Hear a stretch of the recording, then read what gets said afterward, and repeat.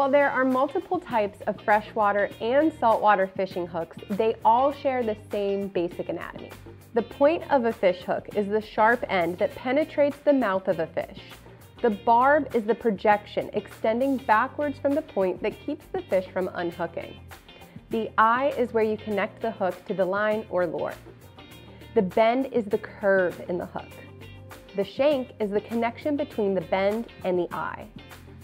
The gap is the distance between the point of the hook and the shank. The three most common types of hooks are J hooks, circle hooks, and treble hooks.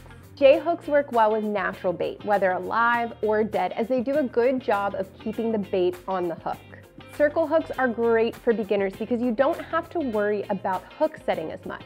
Often you just point your rod at the fish and reel in until the line is tight, then lift up and the hook will set itself.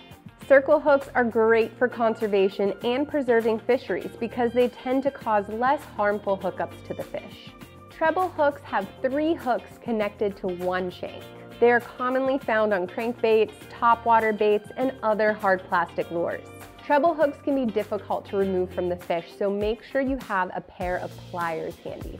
Regardless of the types of fishing hooks you plan on using, one of the most important considerations before you tie your hook on is the size of the hook itself. Fishing hook sizes are generally referred to by a number, from the smallest being size 32 to the largest being size 19 aught.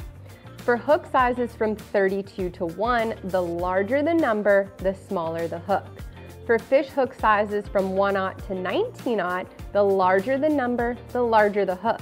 In general, you want to choose a hook size that matches the size of the fish you're targeting. That is it for this video. Don't forget to subscribe to the Take Me Fishing YouTube channel, and for more helpful fishing tips, visit takemefishing.org.